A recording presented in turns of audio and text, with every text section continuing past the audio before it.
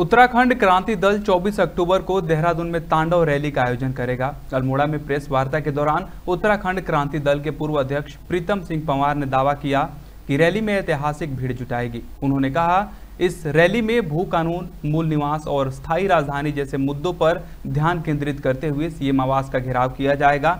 पंवार ने आगामी निकाय चुनावों को बेहतर मैनेजमेंट के साथ लड़ने की बात कही। साथ ही कहा 2027 के विधानसभा चुनाव में उत्तराखंड क्रांति दल कांग्रेस और बीजेपी को सत्ता से बाहर कर उत्तराखंड में नई राजनीति की शुरुआत करेगी। अल्मोड़ा से नसीम अहमद की रिपोर्ट। देखिए, चौबीस तारीख को जो तांडव रैली का आयोजन हमने किया, मुख्यमंत्री का घेराव ये 24 सालों का जो भाजपा कांग्रेस ने बारे बारी ठगा पहाड़ के लोगों को, ये अब वो लोग तांडव करेंगे कि हमारे साथ जितना अन्याय हुआ भू कानून को लेकर के, मूल निवास को लेकर के और पूर्णकालिक राजधानी को लेकर के, ये सब मुद्दों को लेकर के हम बहुत बड़ी रैली दो हज़ार चौरानबे के बाद ये ऐतिहासिक रैली हुई उत्तराखंड के अंदर और उत्तराखंड क्रांति दल के द्वारा। हमने तमाम संगठनों को आह्वान किया है जो राज्य के प्रति ईमानदार हैं, राज्य के प्रति सोचते हैं।